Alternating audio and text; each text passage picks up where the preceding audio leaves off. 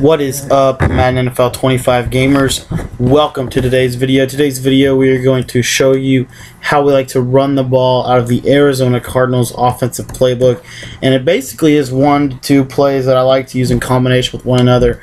Uh, since Arizona's spread formation isn't a dominant running attack, uh, I just wanted to kind of, I'll go over a running for, a running play out of there a little bit later on in the week but I do want to talk about a true three-headed rushing attack, and that is the halfback zone weakening combination with the halfback dive. And, and, what I really like to do is I like to come out, I like to call the zone weak, and depending on which side I think they're weak to, I'm going to flip it and I'm going to run it to that side. In this situation, we think they're weak to the right, so we're going to run it to the right. Um, once the defense starts to spread out, they start to spread their linebackers, uh, that's when you want to start hitting them with the halfback dive, kind of hit them up the middle let them know that you can do that. Another thing I like to do with this run is uh, I really like to motion over a receiver. Uh, depending on what I want to do, I'll just motion receiver over. Just kind of create some confusion and adds a little bit more versatility to the offense and a little bit more deception uh, because they're still gonna they're gonna be trying to figure out where the run is going, and then maybe, for example, you may hit them with a play action pass and may be able to hit them deep over the middle in that soft coverage uh, that they may be playing against the pass because they're busy trying to find to figure out a way uh, to stop the running uh, game that you have right now. So as you see, these runs in combination with one another are very effective.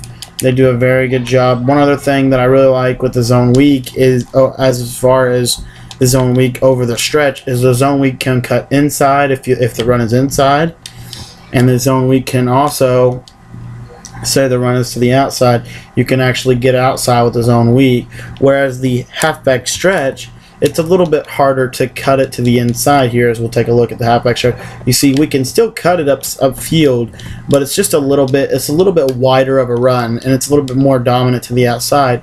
And uh, I like the versatility of the zone weak.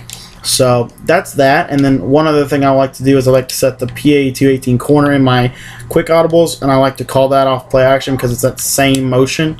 And I really like that right to AJ Green. It gets open, it gets man and zone coverage. Uh, here we're going to take a quick look at a man coverage uh, just to kind of show you this read against man. You see that that tight end coming across is a nice little read, um, as well as the route to the uh, AJ Green here is also very effective. As you see, it roast man coverage as well. So that's just a little bitty three-headed rushing attack mini scheme out of the Arizona playbook.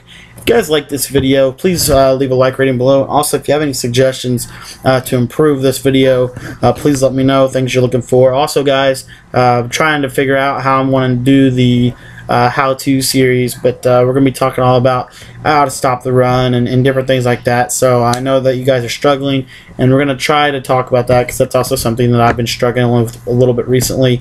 Uh, tried some new concepts, and they weren't working like I thought they would. May have to go back to the old ones. We'll see.